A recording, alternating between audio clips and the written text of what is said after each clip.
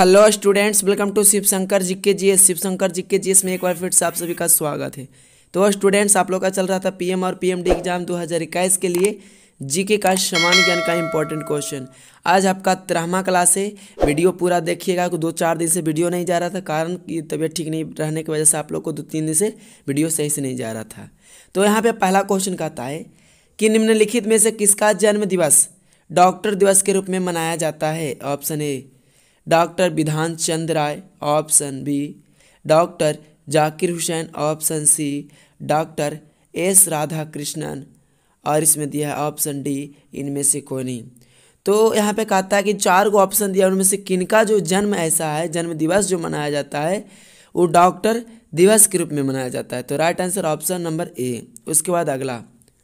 किस महापुरुष की जयंती राष्ट्रीय युवा दिवस के रूप में मनाया जाता है। Option A, Mahatma Gandhi.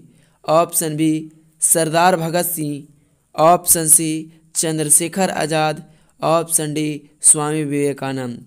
तो महा बोलता है यहाँ पे कि किस महापुरुष की जयंती राष्ट्रीय युवा दिवस के तो राष्ट्रीय युवा दिवस के रूप में मनाया जाता है स्वामी विवेकानंद का। तो राइट आंसर यहाँ पे आपका ऑप्शन नंबर डी। उसके बाद अगला क्वेश्चन कहता है किस भारतीय हॉकी खिलाड़ी का जन्म दिवस राष्ट्रीय खेल दिवस के रूप में मनाया जाता है? Option A Rupsi option B, Jaipal Singh. Option C, major Dhyanchand. और ऑप्शन डी, इनमें से कोई नहीं। तो भारतीय हॉकी खिलाड़ी का जन्म दिवस राष्ट्रीय खेल दिवस के रूप में जो मनाया जाता है, वो मेजर ध्यानचंद के। तो यहाँ पे right answer option number C उसके बाद अगला क्वेश्चन कहता है। विश्व में डाकघरों का सबसे बड़ा जाल किस देश में पाया जाता है? ऑप्शन ए, चीन। ऑप्शन बी, संयुक्त राष्ट्र अमेरिका। Option C, Bharat. और ऑप्शन डी, इंडोनेशिया। तो राइट आंसर हो जाता है आपका ऑप्शन नंबर सी भारत। उसके बाद अगला क्वेश्चन कहता है, भारत में डाकघरों की संख्या लगभग है? ऑप्शन ए, एक दशमलव दो लाख। ऑप्शन बी एक दशमलव पाँच लाख। ऑप्शन सी, एक दशमलव सात लाख। ऑप्शन डी, एक दशमलव नौ लाख। तो राइट आंसर यहाँ पे हो जाता है कि भारत में डाकघरों की संख्या जो लगभग है, एक दशमलव पाँच लाख है।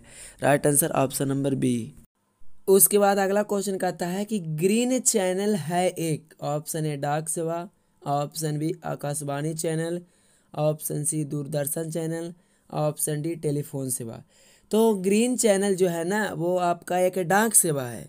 तो आपका यहाँ पे राइट आंसर हो जाता है ऑप्शन नंबर ए उसके बाद अगला क्वेश्चन है, भारत में डाक सूचकांक प्रणाली की शुरुआत किस वर्ष हुई? ऑप्शन उन्नीस सौ बावन ऑप्शन बी उन्नीस सौ अंठानवे ऑप्शन सी उन्नीस सौ बहत्तर और ऑप्शन डी उन्नीस सौ सत्तर ईस्वी. तो भारत में डाक सूचकांक प्रणाली की जो शुरुआत हुई थी उन्नीस सौ बहत्तर में हुई थी. तो राइट आंसर आपका ऑप्शन नंबर सी उसके बाद अगला क्वेश्चन भारत में कितने डाक जोन में विभाजित किया गया है। ऑप्शन ए, दो। ऑप्शन बी, छः। ऑप्शन सी, आठ। और ऑप्शन डी, दस। तो भारत जो है ना, उसमें भारत को पूछता है कि कितने डाक जोन में तो लगभग आठ डाक जोन में विभाजित किया गया है। उसके बाद अगला क्वेश्चन, प्रसिद्ध विरूपाक्ष मंदिर कहाँ अवस्थित है? Option A, Bhadrachalam. Option B Chidambaram option C, Hampi. और ऑप्शन डी, इनमें से कौन तो प्रसिद्ध विरूपाक्ष मंदिर जो अवस्थित है ना, वो हम्पी में है। तो यहाँ पे आपका राइट आंसर हो जाता है ऑप्शन नंबर सी उसके बाद अगला क्वेश्चन हिंद भारत की जनता के संदर्भ में हिंदू शब्द का प्रथम बार प्रयोग किया गया था। ऑप्शन ए अरबों ने। ऑप्शन बी यूनानियों ने ऑप्शन सी रोम वासियों ने और ऑप्शन डी चीनों ने। तो हिंदू, हिंद भारत की जनता, हिंद भारत की जनता के संदर्भ में हिंदू शब्द का प्रथम बार प्रयोग किया था अरबों ने। तो राइट आंसर है यहाँ पे ऑप्शन नंबर ए तो स्टूडेंट्स ये था आपका इंपॉर्टेंट क्वेश्चन पीएम और पीएमडी एग्ज़ाम 2021 के लिए इस वीडियो को शेयर कीजिएगा। चैनल को ज़रूर सब्सक्राइब कीजिएगा। मिलते हैं नेक्स्ट वीडियो में। तब तक हमारे चैनल पर बने रहिएगा।